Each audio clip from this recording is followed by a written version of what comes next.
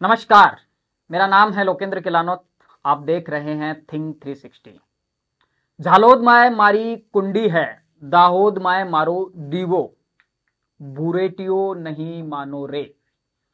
गोदरा माए मारी जाजम, अहमदाबाद मारी बैठक, दल्ली माए मारी गादी बुरेटियो नहीं मानो रे। आदिवासियों के हक और हकूक की अभिव्यक्ति के लिए रचे गए इस गीत को अब विद्रोही कंठ मिल रहे हैं। उदयपुर, डूंगरपुर, प्रतापगढ़, बांसवाड़ा। जी हाँ राजस्थान का वो आदिवासी बाहुल इलाका जो अब चुनाव आते आते भाजपा और कांग्रेस के लिए सबसे बड़ी सिरदर्दी बना हुआ है। राहुल गांधी खुद 9 अगस्त यानी कि आदिवासी दिवस पर बांसवाड़ा के मानगढ़ धाम आने वाले हैं। मानगढ़ धाम से राहुल गांधी राजस्थान में कांग्रेस के लिए चुनावी संखनाद फूकेंगे। ये अचानक से बांसवाड़ा का मानगढ़ धाम राजस्थान की राजनीति में चर्चित जगह क्यों बनता जा रहा है? देश की पूर्व प्रधानमंत्री इंदिरा गांधी कभी इसी मानगढ़ धाम से चुनावी बिगुल फूक चुकी हैं। कांग्रेस के चुनावी एजेंडे में शुरू से मानगढ़ धाम शामिल रहा है। बीते एक दशक में कुछ ऐसी घटनाएँ हुई हैं जो अब भाजपा और कांग्रेस दोनों के लिए परेशानी खड़ी कर रही है। बांसवाड़ा के मानगढ़ धाम के सियाची वर्चस्व की कहानी के पीछे का आखिर खेल क्या है? क्यों हर राजनीतिक दल अब मानगढ़ धाम से ही बड़े वोट बैंक की उपजाऊ ज़मीन तलाशता है? आज थोड़ा परत दर परत समझने की कोशिश करेंगे। 17 नवंबर 2013 को इसी मानगढ़ पहाड़ी पर अंग्रेज़ी हुकूमत ने गोविंद गुरु के नेतृत्व में इकट्ठा हुए 1500 भीलों को मौत के घाट उतार दिया था। इतिहास में यह विभत्स घटना मानगढ़ नरसंहार के नाम से जानी गई। कहते हैं कि जब मानगढ़ पहाड़ी पर गोविंद गुरु भीलों को लेकर इकट्ठा हो रहे थे तो आसपास के भीलों में एक अफवाह फैल गई कि गोविंद गुरु राज मांगे छे। यानी कि गोविंद गुरु राज मांग रहे हैं और पूरा भील समुदाय उनके पीछे हो गया। लेकिन गोविंद गुरु क्या वाकई में राज मांग रहे थे? एक सन्यासी को कौन सा राज चाहिए था? यह राज भील समाज के सामाजिक उत्थान और अधिकारों का राज था, जो अब धीरे धीरे भील प्रदेश की मांग में बदल गया है। लेकिन असल कहानी यहाँ से भी शुरू नहीं होती। मानगढ़ नरसंहार के बाद ना तो इस घटना को इतिहास में कोई खास तवज्जो दी गई और ना ही प्रजातंत्र की स्थापना के लंबे समय तक कोई बड़ी घटना का केंद्र ये मानगढ़ धाम रहा। इस क्षेत्र का आदिवासी समाज कांग्रेस से जुड़ा रहा और समय समय पर कांग्रेस भी मानगढ़ धाम के बहाने इसे बुनाती रही। इस नरसंहार के बाद गोविंद गुरु आदिवासियों के सबसे बड़े आदर्श बन गए और मानगढ़ धाम उनके लिए सबसे पवित्र जगह है। आज़ादी के दशकों बाद तक यह जगह आदिवासी समाज के लिए एक भावनात्मक जगह रही। आस्था, श्रद्धा, विश्वास सहित सामाजिक चेतना के नारे यहाँ से बुलंद होते रहे। लेकिन ऐसा क्या हुआ कि अब मानगढ़ धाम भीलों के राजनीतिक चेतना का भी सबसे बड़ा प्रतीक बनता जा रहा है? थोड़ा सा इन कारणों की पड़ताल कर लेते हैं। कहते हैं कि कोई भी वैचारिक आंदोलन कॉलेज और यूनिवर्सिटी से शुरू होता है। यह सबसे पहले डूंगरपुर के भोगीलाल पंड्या कॉलेज पर चर्चा करना बहुत ज़रूरी है, जहाँ 2006 में ही आदिवासियों में इस तरह के विचार पनपने लगे थे और इसका बहाना बना छात्र संघ चुनाव। यह पहला मौका था जब वामपंथी छात्र संगठन एसएफआई ने भोगीलाल पंडा कॉलेज में दस्तक दे दी। और कमाल तब हो गया जब एसएफआई के उम्मीदवार ने छात्र संघ चुनाव में एबीवीपी और एनएसयूआई को पछाड़ते हुए जीत दर्ज कर ली। लेकिन तभी राजस्थान में छात्र संघ चुनावों पर रोक लगा दी जाती है। लेकिन जो विचार इस कॉलेज में घुस चुका था, वह फिर रुका नहीं और फिर आदिवासी बाहुल्य इस इलाके में छात्र आंदोलनों का एक सिलसिला चल पड़ा। 2010 में उसी इलाके में एक बड़ा छात्र आंदोलन हुआ। मुद्दा था डूंगरपुर, प्रतापगढ़ और बांसवाड़ा के छात्रों के लिए बीएड की सीटें बढ़ाई जाए। सरकार ने मांग मान ली और सीटों की संख्या 500 से बढ़ाकर 2000 कर दी। इस आंदोलन की सफलता पर सवार छात्र आंदोलन को मानो। अब एक नई रफ्तार मिल गई थी। यहाँ से इन छात्रों ने एक नए संगठन को जन्म दिया, जिसका नाम था एस सी संघर्ष मोर्चा। इस मोर्चे के अध्यक्ष बने विक्रम कटारा। 2012 में जैसे ही छात्र संघ चुनाव से रोक हटती है तो विक्रम कटारा इसी मोर्चे से चुनाव लड़ते हैं। भोगीलाल पंडा कॉलेज के बारे में कहा जाता है कि 70 प्रतिशत छात्र आदिवासी समुदाय से आते हैं। और इसी समीकरण को साधने में एस सी मोर्चा सफल हो जाता है, लिहाजा विक्रम कटारा जीत दर्ज कर लेता है। अब छात्र संघ चुनावों और छात्र आंदोलनों के ज़रिए आदिवासी नौजवान आपस में जुड़ने लगते हैं और फिर इसमें आदिवासी संस्कृति और आदिवासी पहचान का मुद्दा शामिल होता जाता है। यहाँ एक दूसरे संगठन भी पर भी चर्चा कर लेते हैं, जिसकी जड़ में आरक्षण का खेल शामिल है। उन्नीस में ट्राइबल सब प्लान एरिया में 45 प्रतिशत आरक्षण आदिवासियों को और पाँच फ़ीसदी आरक्षण एससी वर्ग को दिया जाता है। शेष 50 प्रतिशत आरक्षण पर दूसरे वर्ग थे। लेकिन 50 प्रतिशत के इस कोटे में ज़्यादातर सामान्य वर्ग के उम्मीदवार ही चुने जाते थे। इसी कोटे से दूसरे राज्यों से आए सामान्य वर्ग के उम्मीदवारों को भी नौकरी दे दी जाती थी। इस एरिया में सामान्य कोटे से ट्राइबल एरिया के लोगों को ही नौकरी दी जाए, इसके लिए जो संगठन खड़ा हुआ, उसका नाम समानता मंच था।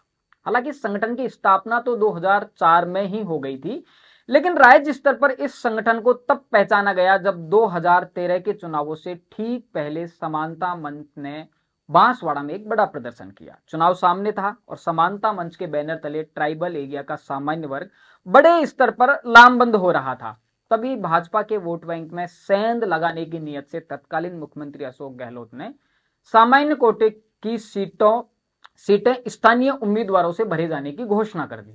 कांग्रेस ने भाजपा के वोट बैंक में सेंध लगाने की कोशिश की, लेकिन हो गया इसका ठीक उल्टा। इस घोषणा के साथ ही कांग्रेस के परंपरागत आदिवासी वोट बैंक का ध्रुवीकरण हो गया और अब आदिवासी समाज एक कदम आगे बढ़कर तिहत्तर प्रतिशत आरक्षण की मांग करने लगा। फिर एक नया संगठन खड़ा हुआ, उसका नाम रखा गया मिशन 73 मिशन 73 के बहाने अब इस इलाके में वामपंथी दल अपनी जड़ें जमाना शुरू करते हैं और मिशन 73 का नेतृत्व जो लोग कर रहे थे, उसमें भी ज़्यादातर वामपंथी दलों के ही लोग शामिल थे। चर्चित कम्युनिस्ट नेता मेघराज तावड़ के हाथ में मिशन 73 का पूरा नेतृत्व था। जल्दी ही मिशन 73 पूरे आदिवासी इलाके में आग की तरह फैल गया। और आदिवासियों का व्यापक समर्थन इस आंदोलन को मिल रहा था। लिहाजा अब कांग्रेस को अपने परंपरागत वोट बैंक के खिसकने का डर सताने लगा। चुनावों से पहले ही कांग्रेस ने मिशन 73 की 11 में से 8 मांगों को मान लिया, लेकिन तीन मांगे अभी भी बाकी थी। 2013 के विधानसभा चुनाव हुए और कांग्रेस को इस क्षेत्र में ज़बरदस्त झटका लगा। आदिवासी वोट बैंक के ध्रुवीकरण ने भाजपा की बल्ले बल्ले कर दी। और बांसवाड़ा डूंगरपुर से कांग्रेस को सिर्फ़ एक सीट हासिल होती है। चुनाव के बाद मिशन 73 अचानक से सुस्त पड़ गया। मिशन 73 के कुछ असंतुष्ट लोगों ने अपना एक अलग रास्ता चुन लिया। इसके अगुआ बनते हैं एक सरकारी टीचर भंवर परमार। अब बात भंवर परमार पर करते हैं। पैसे से प्राइमरी टीचर भंवर परमार उस क्षेत्र के जाने माने आदिवासी एक्टिविस्ट और चिंतक हैं। मिशन 73 से पहले वाम सेब जैसे संगठनों से संगठनों से इनका जुड़ाव रहा। जब मिशन 73 से भंवर परमार अलग हुए तो उनके साथ इस क्षेत्र के आदिवासी कर्मचारी और एक्टिविस्ट जुड़ जाते हैं। भंवर परमार इस पूरे क्षेत्र में चिंतन शिविर लगाना शुरू करते हैं। खास बात यह थी कि इस तरह के चिंतन शिविर में गैर आदिवासी का आना पूरी तरह से वर्जित था। धीरे धीरे पूरे क्षेत्र में एक अलग तरह का माहौल खड़ा होने लगता है। जय जौहार के नारे झारखंड से राजस्थान के ट्राइबल एरिया में पहुँचने लगते हैं। इस तरह के चिंतन शिविर की संख्या इतनी बढ़ने लग जाती है कि पुलिस और प्रशासन इन्हें संदिग्ध दृष्टि से देख, देखने लगता है। ऐसी भी घटनाएँ हुई कि बहुत बार पुलिस को इन शिविरों पर रोक लगानी पड़ी। जय जौहर राजस्थान कैसे पहुँचा इसकी भी एक दिलचस्प कहानी है। भंवर परमार खुद बताते हैं कि एक बार आदिवासी दिवस के मौके पर वे झारखंड गए हुए थे। वहाँ उन्हें पता चला कि झारखंड में इतने बड़े स्तर पर आदिवासी दिवस मनाया जाता है। वहीं से विचार आया कि क्यों ना राजस्थान के ट्राइबल एरिया में भी ऐसा ही कुछ किया जाए। जब इतना कुछ पक रहा है तो उससे राजनीति आखिर कैसे अछूती रह सकती है? सामाजिक चेतना के बाद मिशन 73 से अलग होकर बना भील परिवार राजनीति में दिलचस्पी दिखाने लगता है। कुछ घटनाओं को भी इसके लिए जिम्मेदार माना जाता है। ऐसी ही एक घटना सेमलिया पंड्या नाम के गाँव में होती है। आदिवासी विचारक और संविधान सभा के सदस्य जयपाल सिंह मुंडा की तीन जनवरी को जयंती मनाने का एक कार्यक्रम तय था। लेकिन जब पुलिस प्रशासन से अनुमति मांगी गई तो अनुमति देने से इनकार कर दिया। तैयारी पूरी हो चुकी थी तो पुलिस को जयंती मनाने के लिए गाड़े गए तंबू उखाड़ देने पड़े। सामाजिक चेतना से शुरू हुआ यह आंदोलन 2018 के चुनाव आते आते राजनीति में प्रवेश कर गया। 2018 के चुनाव के लिए यहाँ एक राजनीतिक पार्टी बनाने पर तेज़ी से काम शुरू होता है। लेकिन चुनावों में छह महीने से भी कम वक्त बचा था और पार्टी रजिस्टर्ड नहीं हो पाई। इस हालत में गुजरात के भील नेता छोटू भाई वसावा उम्मीद की किरण लेकर आ गए। 2013 में एनडीए से नाराज़ होकर छोटू भाई ने अपनी भारतीय ट्राइबल पार्टी बना ली थी। आनंद फानंद में भील परिवार का एक शिष्ट मंडल छोटू भाई वसावा से मिलता है। राजस्थान में बीटीपी की एंट्री हो जाती है और बीटीपी का राजस्थान में पहला प्रयोग सफल रहता है। चौरासी से राजकुमार रौत और सागवाड़ा से राम प्रताप जीत दर्ज कर लेते हैं। बीटीपी की धमाकेदार एंट्री के बाद में अब बीटीपी उस क्षेत्र में लगातार पाँव पसार रही है, जो कि कांग्रेस के लिए बहुत बड़ी चिंता का विषय बना हुआ है। अब ऐसी चर्चा है कि बीटीपी उसी इलाके में अपना जनाधार बढ़ाने के लिए लगातार कैंपेन कर रही है और इस बार एक स्ट्रेटजी के तहत बड़े स्तर पर चुनाव लड़ने की तैयारी है। वहीं भारतीय जनता पार्टी को कहीं ना कहीं डर है कि अगर बीटीपी का जनाधार बढ़ता है तो जो 2013 के चुनाव में उसे फ़ायदा हुआ था वो कहीं ना कहीं खिसक जाएगा। वहीं अगर बात करें दूसरे संगठनों की तो आरएसएस का संगठन है वनवासी विकास परिषद। वो लगातार इस क्षेत्र में सक्रिय बना हुआ है। एक और घटना पर ज़िक्र कर लेते हैं 2020 में कांकरी डूंगरी नाम का कांड तो आपने सुना ही होगा। एक भर्ती को लेकर युवा पहाड़ी पर चढ़ जाते हैं, उसके बाद में वो आंदोलन करते हैं। जब बात नहीं सुनी जाती है तो वो आंदोलन हिंसा में बदल जाता है। हिंसा उस स्तर पर होती है कि पूरे राजस्थान को वो घटना जगजोर देती है। उसके बाद में लगातार इस तरह की मीडिया रिपोर्ट्स आती हैं कि डूंगरपुर बांसवाड़ा और प्रतापगढ़ के रास्ते राजस्थान में नक्सलवाद प्रवेश कर चुका है। खैर यह सब अलग तरह की बहस है, लेकिन इतना तय है कि राजस्थान के आदिवासी बहुल इलाके में जो कुछ चल रहा है, बहुत बड़े स्तर पर चल रहा है, और आदिवासी नौजवानों में वामपंथी विचारधारा लगातार पैठ करती जा रही है, जो कि कांग्रेस के लिए कहीं ना कहीं चिंता का विषय है, जो कि भाजपा के लिए भी कहीं ना कहीं चिंता का विषय है, और उन्हीं समीकरणों को साधने के लिए लगातार नरेंद्र मोदी मानगढ़ धाम आ चुके हैं और उसी क्रम में अब राहुल गांधी 9 अगस्त को मानगढ़ धाम से एक बड़ी जनसभा को संबोधित करेंगे। राजस्थान कांग्रेस के बड़े नेता वहाँ पर पड़ाव डाले हुए हैं, ज़्यादा से ज़्यादा भीड़ जुटाई जाए। ये मुद्दा केवल राजस्थान का नहीं है, चूँकि मानगढ़ धाम पॉलिटिक्स का इतना बड़ा पावर सेंटर बन चुका है कि तीन प्रदेशों के समीकरण वहाँ से साधे जा सकते हैं। मैं बात करूँ, गुजरात, मध्य प्रदेश और राजस्थान, और इनसे लगती हुई लगभग सौ सीटों को मानगढ़ धाम प्रभावित करता है।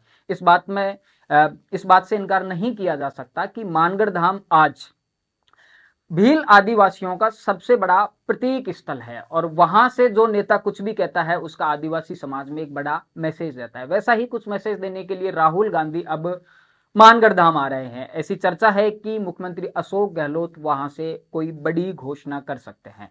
खैर, ये एक रिपोर्ट थी कि किस तरह से राजस्थान में मानगढ़ जो धाम है वो ना केवल राजस्थान, बल्कि तीन प्रदेशों के लिए एक पॉलिटिक्स का पावर सेंटर बनता जा रहा है। इसी तरह के मुद्दों को जानने और समझने के लिए जुड़े रहिए थिंक 360 के साथ। धन्यवाद।